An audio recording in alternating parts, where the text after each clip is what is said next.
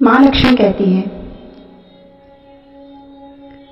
मेरे बच्चे, अब वो समय आ चुका है, जब तुम्हारे दुखों का अंत हो।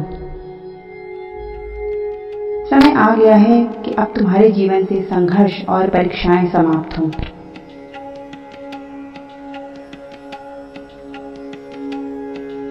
और तुम्हारे धैर्य और परिश्रम का फल तुम्हें मिले। मेरे बच्चे तुम्हारे नेक दिल स्वभाव और अच्छे कर्मों से मैं बहुत प्रसन्न हूँ।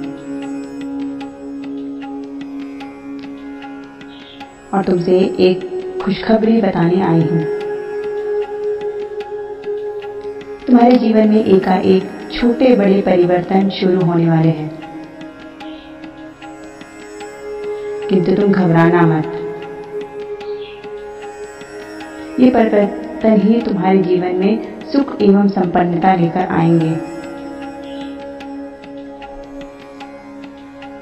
तुम्हें इस परिवर्तन के लिए तैयार रहना है। हमेशा खुश और सकारात्मक रहना है।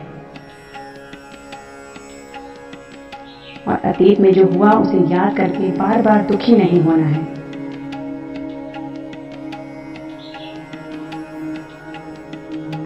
जो भी गलतियाँ तुमने की हैं, वो अनजाने में हुई हैं, और तुम उसका पश्चाताप कर चुके हो।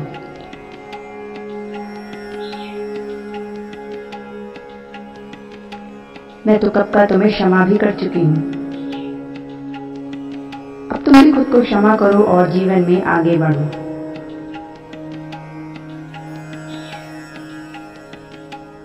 तुम्हारे भविष्य में बहुत सारी सफलता और खुशियाँ हैं।